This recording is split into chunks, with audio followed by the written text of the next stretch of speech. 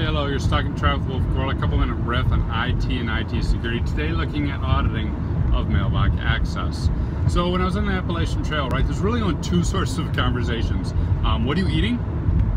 And what kind of gear did you pack? And you become very obsessed with all the outdoor stores, right? Uh, the North Face, uh, Cabela's, Columbia Sportswear.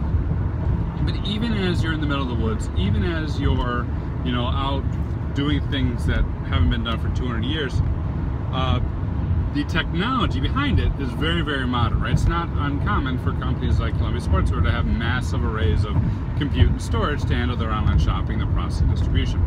And what's the main way to get into those systems? Email, of course. So tip to you, uh, audit your email. And very specifically, and you'll see why in a moment, audit access to mailboxes from people who do not own those mailboxes.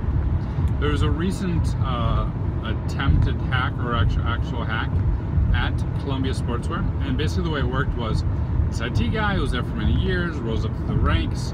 He left in place um, a back door to get in, and left in place a way to read people's emails, and uh, and then went to an IT vendor. Now, whenever you look at these attacks, remember we have to think, hey what is the motivation of the attacker? What are they trying to achieve? What drives them? What's the financial benefit? And here, because he's working an IT vendor, what he was doing was he was using this email access um, for competitive advantage. So if he was trying to sell Columbia Sportswear something, for example, um, and someone else is trying to sell the same storage, he may read those emails, figure out the price, figure out the vendor, try and register that deal with the vendor, and then call them back up and say, hey, Columbia Sportswear, guess what?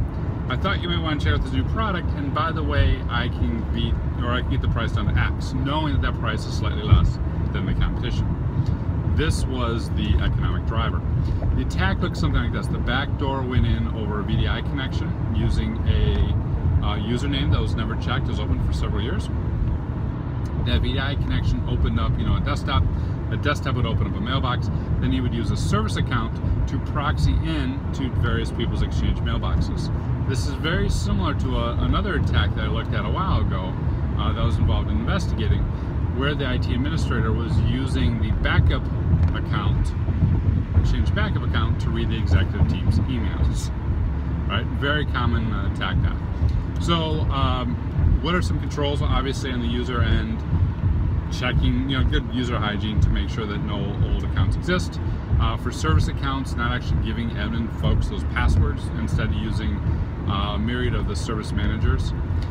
But, but, in both the attack that I investigated with the backup agent and um, this particular event, one of the key things, and this doesn't happen very often in a real world scenario, one of the key indicators of this attack is a non-user accessing someone's mailbox, right? So I log in and I open from Exchange um, your mailbox because I've got permissions to it because I'm using a service account. Very unusual. So I would recommend, and not many people do this right now, auditing for that type of access.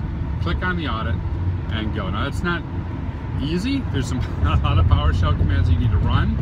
Uh, there's a report in Exchange called uh, the non-owner access report that you could, once you have the auditing settings run enabled, you can run that report and see you accessed it. Uh, if you're using on-prem, you can have it logged to a file and use a piece of software called Logbinder. Logbinder will read those logs, send them to your SIEM, and then you can add correlation rules, right? Naming them right. Uh, add correlation rules so that you can alert when someone's doing this access. Uh, if you're using Office 365, not really clear how to do that just yet. A lot of these features are moving into the security and compliance control panel, so keep a close eye on that security and compliance control panel um, and see if there's options in there that would help in this scenario, everything I just listed, you'll start to get alerts on whenever anyone is proxying into a mailbox. Now, sometimes that may be normal, right? And a, a receptionist or executive admin who's tasked with going ahead and doing that. But a lot of, and you can create exceptions for that first. But a lot of times, uh, if someone's doing it, they're up to something that's no good. So add those rules, check for it, and uh, and throw into your SIEM. What do you think? What are other ways to uh, look at this type of attack and prevent it? hit me up in comments or social media. I don't know, by the way, a lot of people helped me out on the, the exchange part of this, so shout out to um, Adam Hopkins, uh, Adrian Sanabria, uh, Gary Smith, Neil, the Silent Koala himself, uh, Jason Brown, and a few other folks who hit me up on social media when I was like, hey, how would you detect these things? All right. Thanks so much and see you later.